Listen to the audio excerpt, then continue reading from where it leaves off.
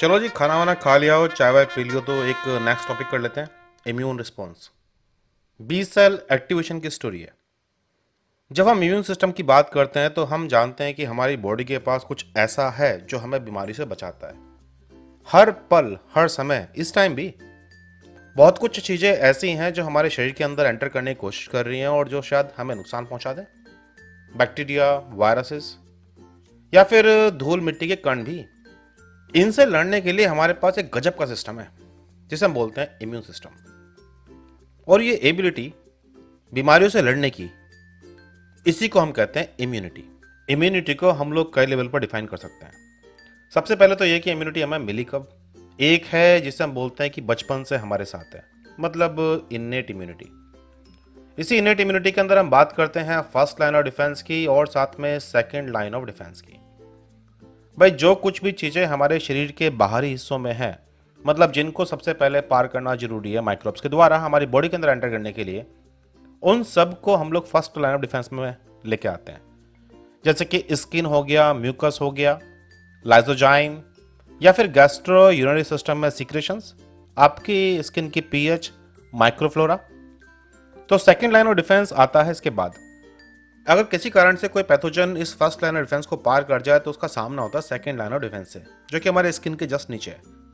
आमतौर पर यहाँ नॉन स्पेसिफिक इम्यून सिस्टम की सेल होती हैं, जिनके अंदर natural killer cells macrophages dendritic cells और इस तरह की बहुत सारी और सेल्स वो सेल्स जो हमारे प्राइमरी इम्यून रिस्पॉन्स में रोल भी निभाती हैं। इन्फ्लेमेशन कॉज करने के लिए फैगोसाइटोसिस के लिए। दूसरी टाइप की इम्यूनिटी है जो हमारे पास बचपन से तो नहीं है। मतलब जब से हम पैदा हुए तब से हमारे साथ नहीं है, लेकिन वक्त के साथ साथ हमने उसे एक्वायर किया है।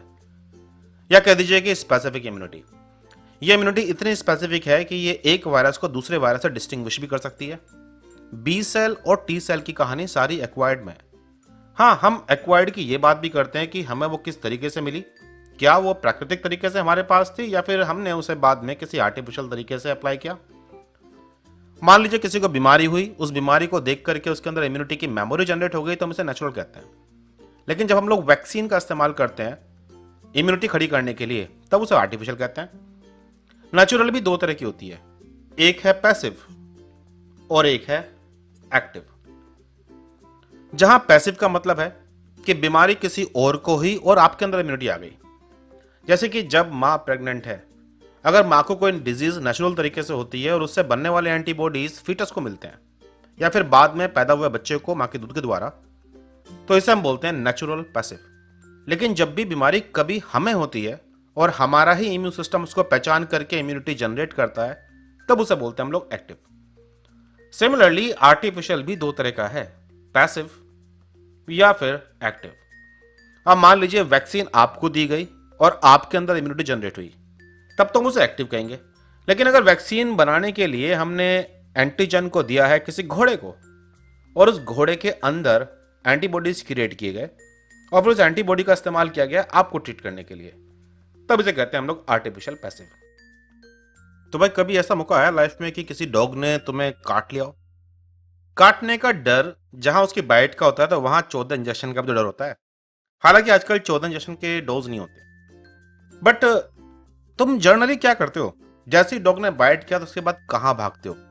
क्या अपने गली नुक्कड़ में पाए जाने वाले डॉक्टर के पास, या फिर मेडिकल स्टोर पर वैक्सीन खरीदने के लिए, या फिर सरकारी अस्पताल? क्योंकि अगर मान लो जिस कुत्ते ने तुम्हें काटा है, उसके लार में रेबीज के वायरस थे तो भाई ये वायरस तो जैसे ही डॉग ने दांत मारे, तुम्हारी फ़र्स्ट लाइन सेकेंड लाइन को पार करके सीधा ब्लड में उसने इंजेक्ट कर दिए, वो वायरसेस ये वायरसेस नर्वस सिस्टम पर अटैक करते हैं। और आमतौर पर नर्वस सिस्टम में घुस के बैठ जाते हैं, हो सकता है तभी अपना असर दिखाना शुरू करते हैं या फिर साल भर बाद या फिर पाँच साल बाद यू नेवर नो लेकिन ये मानते हैं कि बाइट से लेकर के अगले 24 घंटे के अंदर ये वायरस घुसने की कोशिश करेगा आपके नर्वस सिस्टम में। और इस टाइम इस वायरस को रोकने का एक ही रास्ता है कि आपकी बॉडी में एंटीबॉडीज हो, ऐसे एंटीबॉडीज जो वायरस से बाइंड कर जाएँ और इस वायरस को अपने रिसेप्टर से बाइंड करने ना दें।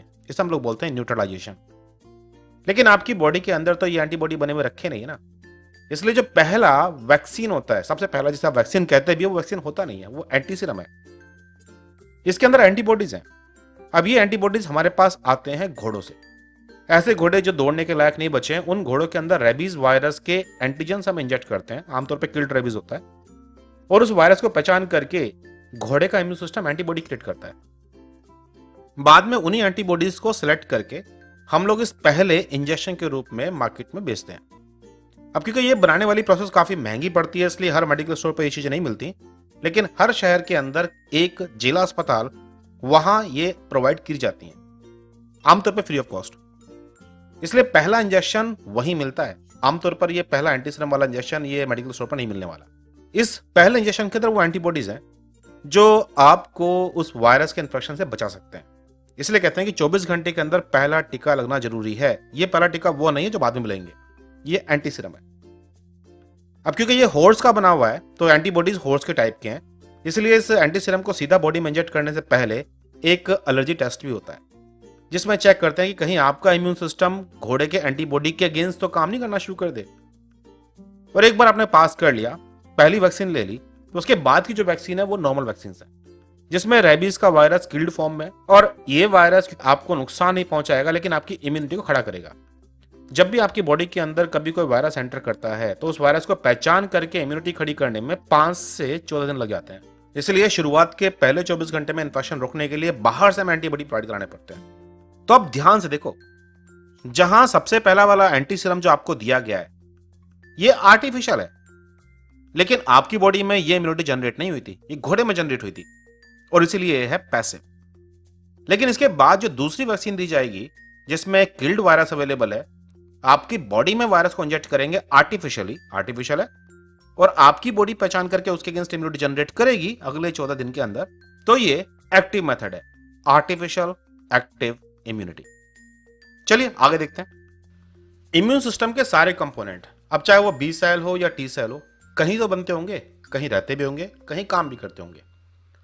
जैसे हमारे ब्लड की कहानी आरबीसी को ट्रैवल कराने के लिए है, ऑक्सीजन, न्यूट्रिशन को ट्रांसपोर्ट करने के लिए ऐसे हम लोग सर्कुलेटरी सिस्टम में पढ़ते हैं। तो सेम इसी के जैसा एक पैरल सिस्टम और भी है, जैसे हम लोग लिम्फेटिक सिस्टम कहते हैं। आरबीसी उसके अंदर मूव नहीं करती, लेकिन ये WBC के लिए स्पेशल है। और यहीं पर लिम्फ नोड्स होते हैं, जहाँ एक्चुअली में बी सेल और टी सेल एंटीजन को पहचानती हैं और उनके अगेंस्ट एक्टिवेट भी होती हैं। ये सिस्टम पूरे शरीर में फैला हुआ है। सेम वैसे जैसे कि हमारे भारत की सेनाएँ अपने सैनिकों को बॉर्डर तक भेजती हैं। तो बॉर्डर के ऊपर खड़े नहीं होते। बॉर्डर के पास में कैंट्स हैं बैरक्स हैं, या फिर चेक पोस्ट हैं। जहाँ पर हमारे सिपाही ड्यूटी कर रहे होते हैं, जब भी कभी कोई एंटीजन वहाँ से गुजरेगा तो उसे पहचान लेंगे और उसके अगेंस्ट रिस्पॉन्स पैदा करेंगे। सेम ऐसे ये मान लीजिए कि आपकी बॉडी में भी जगह जगह चेक पोस्ट हैं जगह जगह बैरक्स हैं, जहाँ आपके सिपाही रहते हैं। एंटीजन को देख करके अपने आप को तैयार करते हैं और उससे लड़ने का माहौल ही बनाते हैं। जैसे लिम्फेटिक सिस्टम को हम लोग दो पार्ट में बांट लेते हैं। जिसमें प्राइमरी लिम्फोइड ऑर्गन्स आते हैं, जैसे कि बोन मैरो और थाइमस तो फिर सेकेंडरी ऑर्गन्स भी आते हैं। सेकेंडरी ऑर्गन्स जहाँ लड़ने की जगह है तो प्राइमरी ऑर्गन्स वो जगह है जहाँ हमारे कमांडोज या हमारी स्पेशल सेल्स तैयार की जाती हैं। भाई सेम ऐसे जैसे कि इंडियन मिलिट्री अकाडमी हमारी आर्मी के लिए जवान तैयार करती हैं। तो सेम ऐसे ही बोन मैरो वो जगह है जहाँ बी सेल तैयार की जाती हैं। और थाइमस वो जगह है जहाँ पर टी सेल रेडी होती हैं। हालाँकि टी सेल बोन मैरो में ही पैदा होती हैं, लेकिन उनका जो ट्रेनिंग स्कूल है, वो थाइमस है। बी सेल का जन्म भी बोन मैरो में होता है और उनकी ट्रेनिंग भी वहीं बोन मैरो के अंदर ही होती है। वैसे तो इम्यून सिस्टम को समझने के लिए बहुत कुछ जानना बहुत ज़रूरी है। लेकिन फ़िलहाल के लिए हम लोग ये जान लेते हैं कि बी सेल का एक्टिवेशन कैसे होता है और उससे बनने वाले इफेक्टर मॉलिक्यूल्स क्या क्या काम करते हैं। हमारी बॉडी के इम्यून सिस्टम में अडाप्टिव इम्यून रिस्पॉन्स बहुत इंपॉर्टेंट रोल प्ले करता है और यह स्पेसिफिकली एंटीजेंस को पहचान करके उनको हमारी बॉडी से साफ़ करने में हेल्प करता है। अडाप्टिव इम्यून रिस्पॉन्स के सबसे इंपॉर्टेंट कंपोनेंट में से है बी सेल और बी सेल कैसे एक्टिवेट होती हैं, ये हम समझने वाले हैं। बोन मैरो में बी सेल जनरेट होती है हिमेटोपोइटिक स्टेम सेल से। प्रोसेस का नाम है हिमेटोपोइसिस वहाँ जो बी सेल मैच्योर होगी, उस बी सेल के पास अपने खुद के काफ़ी सारे रिसेप्टर्स होते हैं। और क्योंकि अभी तक इस बी सेल ने कोई एंटीजन देखा नहीं है, इसलिए इसे हम लोग नाइस बी सेल के बोलते हैं। इसके सरफेस पर मेम्ब्रेन में लगे हुए मेम्ब्रेन बाउंड आईजीडी आईजीएम ये दोनों एंटीबॉडी होते हैं। इसके अलावा कुछ और रिसेप्टर्स भी हैं, जैसे कि C R two I G alpha I G beta कुछ S R C family kinase जैसे कि लिन फिन और B L K M S C one M S C two और पी आर आर इन सभी मोलिक्यूल्स में से I G D I G M I G alpha beta इनको मिलाकर के हम लोग बीसीआर कहते हैं। यही वो कम से कम मोलिक्यूल्स हैं जो एंटीजन को पहचान करके बी सेल को एक्टिवेट करेंगे। एमएससी वन सभी तरह की न्यूक्लिएटेड सेल्स में पाया जाता है, चाहे वो कोई भी सेल हो। एमएससी टू केवल एंटीजन प्रेजेंटिंग सेल्स में पाया जाता है और बी सेल भी एंटीजन प्रेजेंटिंग सेल ही कैटेगरी में आती है। सी आर टू कंप्लीमेंट का रिसेप्टर है और खास तौर से कंप्लीमेंट थ्री डी को पहचानता है। कंप्लीमेंट्स एंटीबॉडी की तरह के मॉलिक्यूल हैं जो हमारे सीरम में या प्लाज्मा में पाए जाते हैं।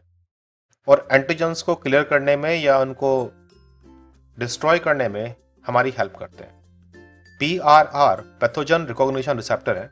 ये इन्नेट इम्यून सिस्टम के रिसेप्टर्स हैं जो बहुत तरह की सेल पे पाए जाते हैं। इंडियड ये हमारी जो नॉर्मल सेल्स होती हैं, जैसे कि एपिथेलियल सेल्स या एंडोथेलियल सेल्स या उनके सरफेस पर भी मिल सकते हैं। ये जब भी कोई फॉरन पार्टिकल हमारी बॉडी के अंदर आता है, चाहे वो बैक्टीरिया हो वायरस हो या फंजाई हो, उसके सरफेस पर मौजूद कुछ मोलिक्यूल्स को पहचान लेता है। वो मोलिक्यूल्स जो हमारे बॉडी के सेल्स के ऊपर नहीं होते। मतलब पी आर आर सेल्फ और नॉन सेल्फ के बीच में रिकॉग्निशन करने में हेल्प करता है। P R R pathogen recognition receptors के काफ़ी सारे एग्जाम्पल्स होते हैं, जिनमें से एक सबसे फ़ेमस है टॉल लाइक रिसेप्टर ये जिन मॉलिक्यूल्स को पहचानते हैं पैथोजन्स के सरफेस पर या उनके अंदर उन मॉलिक्यूल्स को हम लोग पैम्प कहते हैं। P A M P pathogen associated molecular pattern अब जैसे पेप्टाइडोग्लाइकन जो सेल वाला, जो नेग और नैम की बनी होती है, ये तो केवल बैक्टीरिया में मिलती है, हमारी बॉडी की किसी सेल में नहीं मिलती। तो पी आर आर पेप्टाइडोग्लाइकन को एज अ पैम्प पहचान सकते हैं। या फिर बैक्टीरिया में पाए जाने वाले फ्लैजिलिन प्रोटीन से बने हुए फ्लैजिला जो कि हमारी सेल में नहीं मिलते। तो बेसिकली पी आर आर ऐसे मोलिक्यूल्स हैं जो फॉरन सेल्स को इस बेस पर पहचानते हैं कि वो मोलिक्यूल्स हमारे सरफेस पर नहीं होते। जब भी कोई बैक्टीरिया हमारे अंदर आता है तो उस बैक्टीरिया के ऊपर काफ़ी सारे मोलिक्यूल ऐसे हैं जिन्हें हमारा सिस्टम एज एपिटोप पहचान सकता है। और सिमिलरली इसके सरफेस पर ऐसे मोलिक्यूल्स भी हैं जिसे P R R a PAMP recognise कर सकते हैं। इंडिट कंप्लीमेंट भी ऐसे मोलिक्यूल्स हैं जो इन्हें पहचान सकते हैं और कंप्लीमेंट डायरेक्ट इनके सरफेस से बाइंड कर सकते हैं। कंप्लीमेंट का बाइंड करना अपने आप में डिक्लेरेशन है कि जिस ऑर्गेनिज्म के ऊपर ये बाइंड है, ये ऑर्गेनिज्म हमारी बॉडी का पार्ट नहीं है और इसको डिस्ट्रॉय होना चाहिए। एक बार कंप्लीमेंट्स बाइंड कर गए या फिर इस बैक्टीरिया के सरफेस के मोलिक्यूल्स को हमारे एंटीबॉडी ने पहचान लिया या फिर पीआरआर ने इसके किसी सरफेस को पहचान लिया एज अ पैम्प तो हमारी बी सेल एक्टिवेट हो सकती है। बशर्ते कि ये सारे मोलिक्यूल्स बी सेल के ऊपर हो। जैसे ही एक्टिवेशन होता है तो आईजीएम आईजीडी मैसेज देते हैं एसआरसी फैमिली काइनेस को कि हमने एक एंटीजन पकड़ लिया है। और मत भूलिएगा कि इसमें कंप्लीमेंट का बाइंडिंग भी बड़ा इंपॉर्टेंट रोल प्ले करता है। अगर अकेला बीसीआर कंपोनेंट सिग्नलिंग कर रहे हैं तो सिग्नलिंग होगी। लेकिन अगर सी और आर भी आ जाए इस इंट्रैक्शन में तो सिग्नलिंग ज़्यादा अच्छी होती है। S R C family kinases इस मैसेज को देते हैं I IG alpha IG beta को, और I IG alpha IG beta signal transduction pathways initiate करता है बी सेल के अंदर। यहाँ एक साथ कई सारी पाथवेज शुरू होती हैं। ऐसी पाथवेज जो डिफरेंट तरह के सेकेंडरी मैसेंजर्स बनाती हैं, जैसे कि डेग कैल्शियम आयन, या फिर ये रास जीटीपी जैसे मोलिक्यूल्स भी एक्टिवेट करती हैं। इससे पीआईपी या फिर प्रोटीन काइनेज ए या फिर मैप काइनेज वाली पाथवे शुरू होती हैं। और उनसे मैसेज आता है न्यूक्लियस के अंदर तक, जहाँ कुछ ट्रांसक्रिप्शन फैक्टर जैसे कि N FAT N F kappa B और एपी वन ये एक्सप्रेस होना शुरू हो जाते हैं। और ये ट्रांसक्रिप्शन फैक्टर यहाँ जीन को कंट्रोल करेंगे और कुछ जीन्स ऑफ़ हो जाएँगे और कुछ जीन्स ऑन हो जाएँगी। ये जो बदला हुआ जीन एक्सप्रेशन का पैटर्न है, इसकी वजह से अब ये बी सेल एक्टिवेट हो जाएगी। और ये अपने आप को कन्वर्ट करेगी ऐसी बी सेल में जो डिफरेंट तरह के फ़ंक्शन कर सकती है। इसको कहते हैं हम लोग बी सेल एक्टिवेशन लेकिन ये प्रोसेस इतनी सिंपल है नहीं। जब बोन मैरो से हमारी नाइव बी सेल बन के आती हैं तो हमारे पास बहुत तरह के एंटीबॉडी प्रेजेंट करने वाली बी सेल होती हैं। एक बी सेल पर एक ही तरह के एंटीबॉडी होते हैं और वो एक ही तरह की एफिनिटी शो करते हैं। ये double positive IgM IgD positive B cells bone marrow से निकल करके लिम्फ नोड में पहुँचती हैं और लिम्फ नोड में जब कभी एंटीजन आता है तो जो बी सेल उस एंटीजन से बाइंड करेगी, उसके सरफेस पर कुछ रिसेप्टर्स बनने शुरू जाते हैं। वो रिसेप्टर जो टी हेल्पर सेल से मिलने वाले साइटोकाइंस को पहचानते हैं और वो एक्टिवेट हो जाते हैं। केवल वही सेल्स एक्टिवेट होती हैं जिन सेल्स ने एंटीजन को बाइंड किया है सक्सेसफुली और इस तरीके से एक ही पर्टिकुलर बी सेल के काफ़ी सारे क्लोन बनने शुरू जाते हैं माइटोसिस के द्वारा डिवाइड होकर के। इस प्रोसेस को हम लोग क्लोनल सिलेक्शन बोलते हैं। यहाँ जो बी सेल का नंबर बढ़ रहा है, इसको हम लोग प्रोलिफरेशन कहते हैं। और फिर ये बी सेल अपने आप को डिफ्रेंशिएट भी करती हैं अलग अलग टाइप की और दूसरी बी सेल्स में। जैसे कि कुछ बी सेल्स अपने आप को कन्वर्ट कर सकती हैं प्लाज्मा बी सेल में। बी सेल की वो फॉर्म जो एंटीबॉडी बना करके सीक्रेट कर सकती हो, उसको हम लोग प्लाज्मा बी सेल कहते हैं। अभी तक जितने भी बी सेल हम लोगों ने देखी हैं, इन सभी में मेम्ब्रेन बाउंड एंटीबॉडी है। लेकिन प्लाज्मा सेल अल्टरनेट स्प्लाइसिंग की वजह से अब ऐसे एंटीबॉडी बनाने लगती हैं जो सेल से बन करके बाहर आते हैं। सबसे पहले बनने वाले एंटीबॉडीज में से एक है आईजीएम जब कभी एंटीजन हमारी बॉडी में पहली बार आता है तो उसे हम लोग प्राइमरी रिस्पॉन्स कहते हैं। और प्राइमरी रिस्पॉन्स होते ही जो पहले एंटीबॉडी बनते हैं वो आईजीएम आमतौर पे एंटीजन के आने से लेकर के और एंटीबॉडी बनने तक के बीच में तकरीबन सात दिन के आसपास का टाइम लगता है। आईजीएम दस एंटीजन बाइंडिंग साइट लिए हुए हैं। पाँच एंटीबॉडी मॉलिक्यूल एक साथ जुड़े हुए हैं। यहाँ एंटीबॉडी की एफिनिटी एंटीजन के लिए ज़्यादा अच्छी नहीं होती, क्योंकि यहाँ बाइंडिंग साइट दस है, इसलिए आईजीएम की एविडिटी जो कि टोटल बाइंडिंग कैपेसिटी होती है, वो काफ़ी अच्छी है। और इसलिए आईजीएम शुरुआत में बनाए जाते हैं ताकि ये हमारी बॉडी में सीक्रेट हो जाए और हमारी बॉडी में तमाम हिस्सों में फैल करके जहाँ जहाँ एंटीजन है उससे बाइंड करके उसको न्यूट्रलाइज कर दें। उसको हमारी सेल के अंदर घुसने ना दें। यहाँ तक कि ये उन एंटीजन को कंप्लीमेंट के द्वारा क्लियर करवाने में भी हेल्प करेंगे। इसके अलावा कुछ भी सेल ऐसी भी होती हैं जो एक्टिवेट होकर के अपने आप को और दूसरी तरह की सेल्स में कन्वर्ट करती हैं। लेकिन इसके लिए और साइटोकाइंस की ज़रूरत होती है, जैसे कि इंटरफेरॉन गामा और आईएल चार। इससे डिफरेंट तरह की प्लाज्मा बी सेल बनती हैं और ये प्लाज्मा बी सेल डिफरेंट तरह के एंटीबॉडी बनाते हैं। जितने भी एंटीबॉडी बनाएँगे, सब एंटीबॉडी सेम उसी एंटीजन को पहचान रहे होंगे, लेकिन एंटीबॉडी की क्लास अलग अलग होंगी, जैसे कि आईजीजी पर्पस ये है कि अब हमें अलग अलग तरीके से एंटीजन से लड़ना है। तो आईजीजी जो कि हमारी बॉडी में सबसे ज़्यादा बनने वाले एंटीबॉडी हैं, और ये सबसे लंबी उम्र के भी होते हैं, बहुत स्टेबल होते हैं, तेईस दिन के आसपास की इनकी हाफ़ लाइफ होती है। और यही है जो हमारे इफेक्टर एंटीबॉडी के रूप में जाने आते हैं। ये एंटीबॉडीज जहाँ जहाँ एंटीजन्स हैं, वहाँ बाइंड करेंगे एंटीजन से और उनका फैगोसाइटोसिस के द्वारा क्लियरेंस करवाने में हेल्प करेंगे, जिसे हम लोग ऑप्शनाइजेशन कहते हैं। ये एंटीजन से बाइंड करके कंप्लीमेंट्स को भी एक्टिवेट कर सकते हैं, जिसे हम कंप्लीमेंट एक्टिवेशन कहते हैं। और इसके अलावा ये एंटीजन से बाइंड करके एडीसीसी नाम की एक प्रोसेस भी कर सकते हैं। जिसमें एंटीजन एंटीबॉडी कॉम्प्लेक्स को पहचान करके न्यूट्रोफिल मास्ट सेल्स वगैरह आती हैं। और जिस जगह पर ये एंटीजन एंटीबॉडी कॉम्प्लेक्सेस हैं, वहाँ बहुत सारे साइटोलाइटिक केमिकल्स बना बनाकर छोड़ देती हैं। ये केमिकल्स जो एंटीजन है, उसको डिस्ट्रॉय कर सकते हैं। इसके अलावा आईजीए बनाने वाली प्लाज्मा बी सेल बन सकती हैं। आईजीए हमारी बॉडी के सिक्रेशन में बाहर आ जाता है। जैसे कि म्यूकस में मदर के मिल्क में इंडिट माँ के दूध से मिलने वाली इम्यूनिटी में आईजीए ही है। और ये खास तौर से एंटीजन के न्यूट्रलाइजेशन में रोल निभाता है। इसके अलावा कुछ बी सेल ऐसी भी बन जाती हैं जो आईजीई e बनाने लगती हैं। और आईजीई e भी मास्टर सेल के डीग्रेन्युलेशन में या न्यूट्रोफिल के डीग्रेन्युलेशन में रोल निभाता है। इंडिट बहुत सारे एलर्जिक रिएक्शन में आईजीई e के रोल देखने को मिले हैं हमें। इसलिए हम इसे एंटीबॉडी ऑफ़ एलर्जी भी कहते हैं। जैसे हमारी बॉडी के अंदर कई बार वॉर्म्स बन जाते हैं, उन वॉर्म से लड़ने के लिए भी आईजीई हेल्प करता है। आईजीजी प्लेसेंटा में मदर एम्ब्रियो के बैरियर को पार कर सकता है। इसलिए माँ से फीटस को मिलने वाली इम्यूनिटी आईजीजी की वजह से होती है। IgG ऑप्शनाइजेशन A D C C मतलब antibody dependent cellular cytotoxicity neutralisation of antigen ऐसा कि एंटीजन से बाइंड कर जाए और उसे सेल के अंदर एंट्री ना करने दे।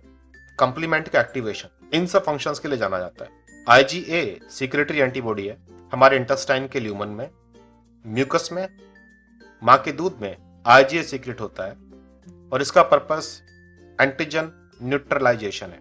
आईजीई एंटीजन से बाइंड करके मास्टर सेल और न्यूट्रोफिल का डीग्रेन्युलेशन कर सकता है, इसलिए एडीसीसी में आईजीई काफ़ी रोल निभाता है।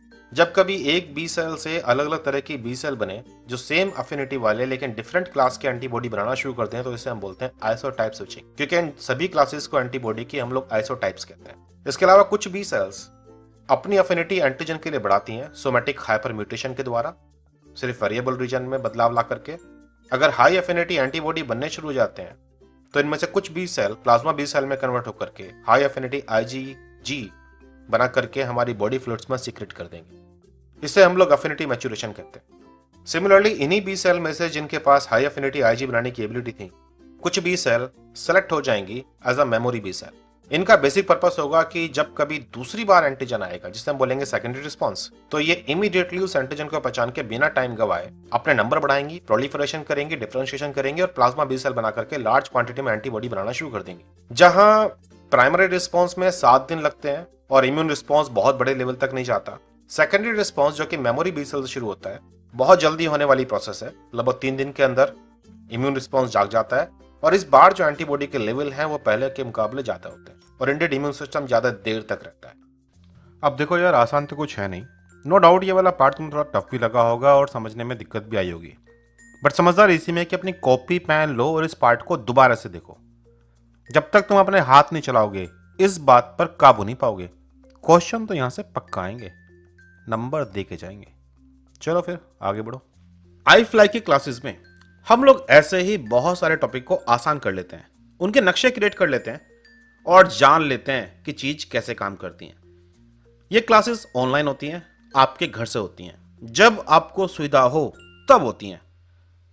इन क्लासेस के द्वारा आप NET, GATE I DBT select ए जैसे एग्ज़ाम के लिए क्वालिफाई कर सकते हैं। तो इसके अलावा एम एस सी एंट्रेंस के एग्ज़ाम जेएनयू के लिए और आई के लिए भी प्रिपेयर कर सकते हैं। क्लासेस ज्वाइन करने के लिए आप मुझे व्हाट्सअप कर सकते हैं nine zero one three, nine zero two nine eight one. अगर ये वीडियो पसंद आया तो शेयर कीजिए इसे अपने दोस्तों के साथ लाइक कीजिए वीडियो को और चैनल को सब्सक्राइब कीजिए बेल के साथ। फ़िलहाल तो चलो, मेहनत करो रिविजन करो और लगे रहो। बाय